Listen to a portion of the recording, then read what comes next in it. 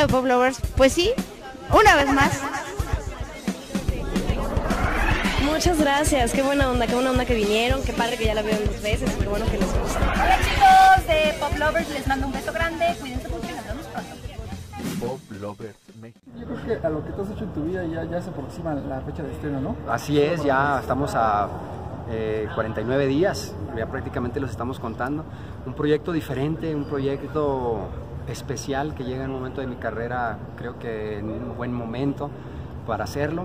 Ya más adelante no estoy tan seguro, pero creo que estamos eh, disfrutando cada, una- cada etapa que me ha tocado en mi carrera. Eh, y ahora ha tocado esta etapa, este proyecto me encanta porque incorpora de lleno a la mujer. Mi mayor público son las mujeres, sin dejar fuera a los hombres. Pueden venir al espectáculo con algunas este, condiciones que por ahí se las dirán, vestidos de, con una peluca o algún elemento de mujer en, este, en honor a, a este ser mar- tan maravilloso que sin él no existiríamos.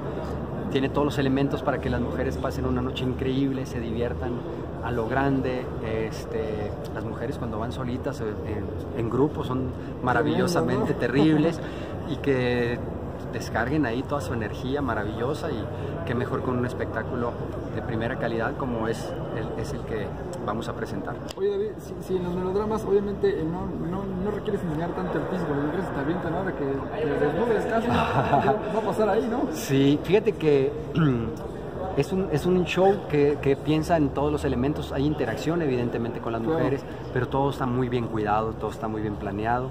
Este, son escenarios eh, que están pensando de alguna manera en los cuales eh, este, sea, sea un- haya un gran respeto de nosotros hacia el especta- las espectadoras en su mayoría y de allá para acá. Pero hay, un es, hay dos temas en los cuales eh, hay una interacción con las mujeres, lo cual Sí, sí. me- me- es maravilloso y a mí me encantaría que pasaran todas, pero casi todas van a pasar. espero que, espero que las, las más que se puedan. David, decías que este proyecto llega en, en la mejor etapa de tu carrera. Ajá. Yo te, yo te quiero preguntar eso sin, sin demeritar el trabajo de tus demás compañeros. Siendo un protagonista de novela, una gente que es muy requerida por productores para estabilizar sus, sus proyectos. ¿Por qué solo para mujeres? A lo mejor pueden estar protagonizando cualquier otra cosa. Fíjate que sí. Eh, yo me preguntaba, yo me pregunto por qué no. Es decir, es un espectáculo que tiene todos los elementos y toda la calidad en la que yo busco cuando eh, busco algún proyecto y finalmente me mantiene cerca, cerca de mi público. Sigo con la música, alternaré la música, mi proyecto musical con este show, entonces es maravilloso mantenerme en un escenario. eh, disfrutando esa energía que es única y especial, pero creo que es un show que, que vale la pena hacerlo eh, por lo menos una vez en tu vida. Y hace muchos años eh, Sergio me invitó a Solo para Mujeres, yo estaba, estaba chavillo, Sí, claro. 20 estaba chavillo, así como 17 años. Ahorita estábamos sacando cuentas y empecé a ensayar, de hecho, pero no pude porque me fui a una telenovela y ya, y, el- y- y ya estaban muy avanzados los ensayos. Pero ahora, cuando me presentan el proyecto, la verdad es que no pensábamos realizarlo, pero cuando empezamos a ver todos los elementos que se integran, todas las personas que están involucradas en, en, eh, coreografías, la maestra Guilla, en vestuario, el señor Mata, en la iluminación, en los efectos, en la producción, y cuando vemos cómo se van incorporando mis compañeros, quién se va incorporando, hay una gran armonía, hay un gran respeto, hay un gran compromiso, y, y- y eso te llena de, de motivación para realizar el proyecto. Hablando de la música, ¿van a poder tus fans oírte cantar en, en ese evento? No, mijo, este es un show que ya está sumamente definido, obviamente revolucionado y con muchísimos elementos nuevos y no en esta parte no entra, pero está rico porque por un lado ahí estaré en un espectáculo que está ya sumamente definido y por otro lado tendré mis presentaciones en la parte musical. Creo que es un muy buen tiempo para, para combinarlo. Oye David, y me, me imagino que con este show de para mujeres Sí, te estarás preparado para que se te lancen, ya les digo, si va a haber interacción para que se te lancen en el escenario. Actualmente hay pareja de que se pusiera celosa de este tipo de... Sí, hay pareja, pero es la menos celosa y es la primera que, que me dijo, mi amor, adelante, adelante. Ella me ayuda en todos los elementos, en vestuario, es baila increíble. Entonces también me ayuda en mis coreografías cuando llego a los ensayos. No, no, hay, hay este, mucho apoyo en ese sentido. Sigues con Lina.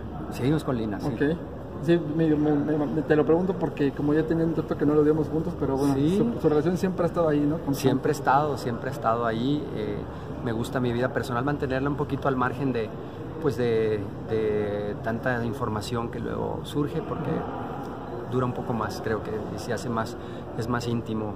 Y también el público también creo que no le interesa hasta saber todo de la vida de los actores, eh, de los artistas. Creo que luego interpretas un personaje y saben más de tu vida personal y, y no es tan interesante.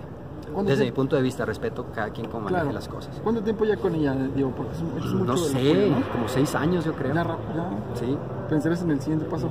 Más adelantito ahí estamos, ahí ¿Sí? cuando cumpla 30 años de, de carrera, dice, ¿qué pasó, papá? Él se ríe. ¿Qué tan difícil fue prepararte para este evento? Porque sí bailas en tus eh, eh, conciertos, pero es tipo de ¿no? música.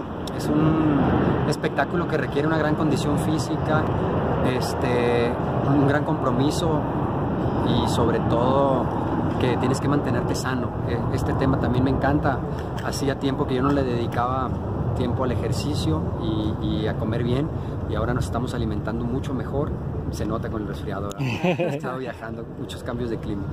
Pero eh, tiene que ver mucho con la salud, con el ejercicio, con una mentalidad sana. eh, y, y en la prueba del espectáculo es que también habemos de todas las edades, de distintas generaciones en este espectáculo y todos los gustos. Eh, eso, eso también me, me ayudó a, me, me motivó todavía más a entrar a este proyecto. Ahí estás con el regional mexicano, David, este, cantando todavía. Fíjate que el regional mexicano, mijo, eh, de alguna manera fue una tipo licencia que nos dimos porque el personaje así requería. Bueno, sí. El- la telenovela La doble vida de Estela Carrillo se desarrolla en un ambiente de música regional mexicana y eh, encontramos ah, muchísimo talento en la composición, en este caso con Horacio Palencia. Con el favor de Dios seguiremos trabajando con él y, ¿por qué no, ir sumando nuevas, nuevas figuras como en la composición, eh, gente muy talentosa que viene empujando para que nos haga algunos temas como licencia dentro de este proyecto. Y, y gracias a Dios fue muy bien recibido. No es de que yo ya me vaya al regional mexicano, etcétera.